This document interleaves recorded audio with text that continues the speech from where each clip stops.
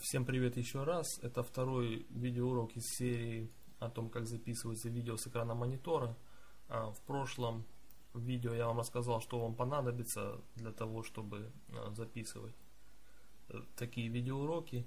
Ничего там сложного нету в этом. И также показал о работе с, с какой программой вам нужно работать, то есть Camtasia Studio.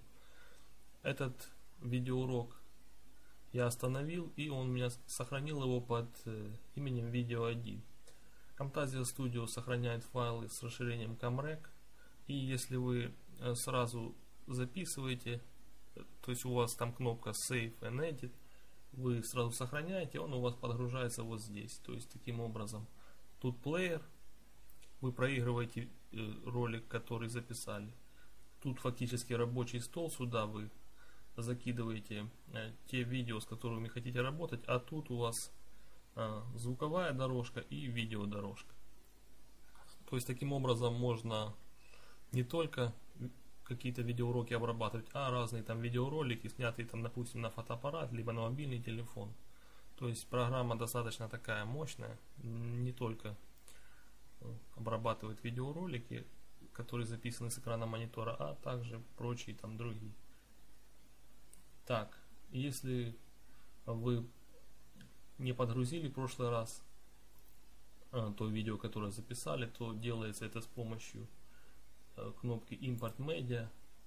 Выбирается файл, который сохранен в формате Comreg, либо любой другой.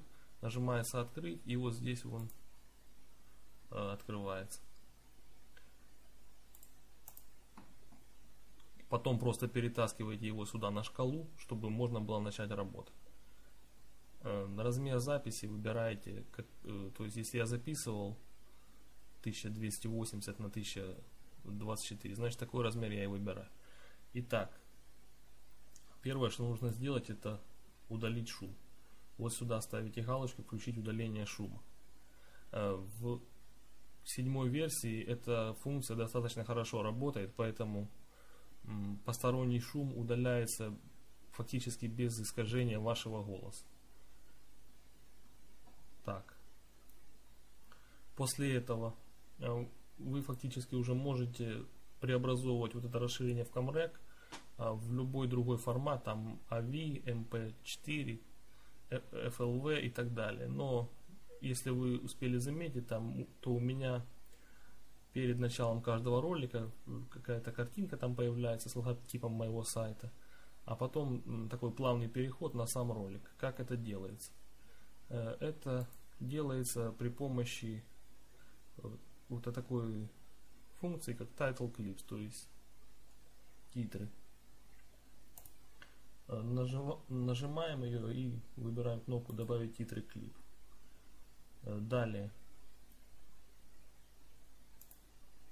нужно выбрать сам рисунок, либо какие-то там титры, я не знаю, что у вас там будет. У меня это находится... Так, так, так, так, так.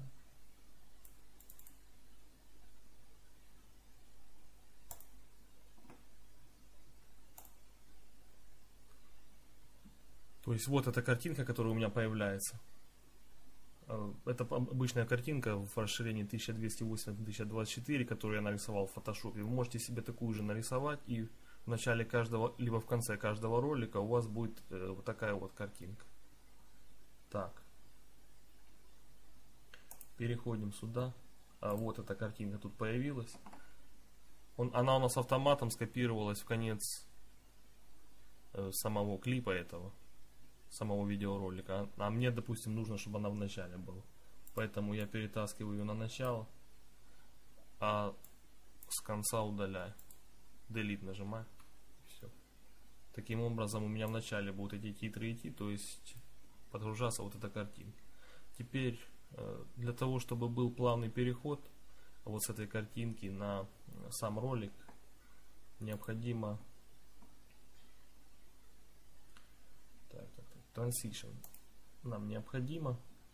И вот у нас вот этот клип 1 и клип 2. Для того, чтобы клип 1 плавно переходил в клип 2, нужно вот на эту стрелочку перетянуть эффект, с помощью которого а, будет вот это действие происходить. Давайте выберем дверцы, допустим, или что-нибудь еще такое. Короче, эффектов тут много, можете какой хотите, такой выбрать, они тут все хорошие. Вот давайте сдвиг в сторону. Перетягиваем сюда. Вот так. И посмотрим, что у нас получилось.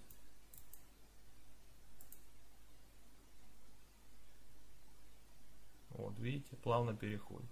То есть ничего такого страшного в этом нету.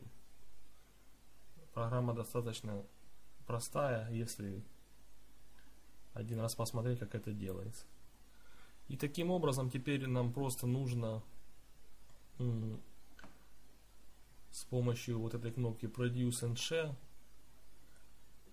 добавить, то есть не добавить, а преобразовать свой ролик из расширения Comrec в расширение там какой-нибудь, чтобы можно было передавать его по интернету, либо закачивать на YouTube, там MP4, FLV и так далее.